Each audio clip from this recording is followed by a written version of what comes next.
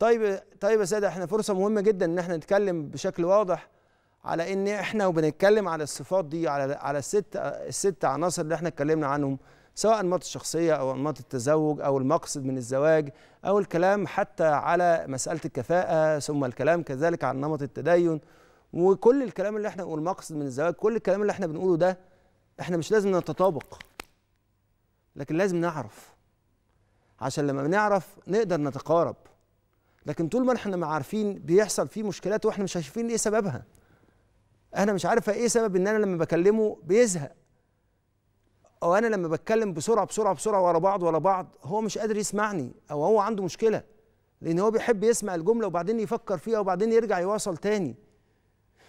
أو إن أنا عايزاه يتكلم كتير زي ما أنا بتكلم كتير. أو إن أنا حاسة إن أنا هو ليه بيتمرد عليا كده؟ آه ما أنا بمارس عليه دور الأم وهو مش عايز هو راجل مستقل وعايزك تبقي انت بطل أو عايزه تبقي صديق. ولذلك كل ده اللي بيتسبب بعد كده في مشاكل من الاحتواء البديل للزوج أو للزوجة وخارج الأسرة.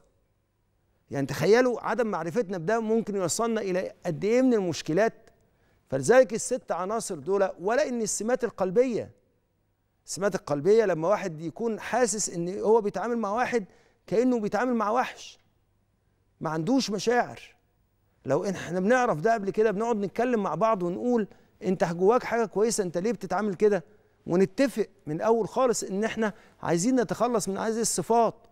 ومحدش يجي يقول لحد وهو في فترة الخطوبة هو ده طبعي. ويقبلني على كده. الطباع بتتغير.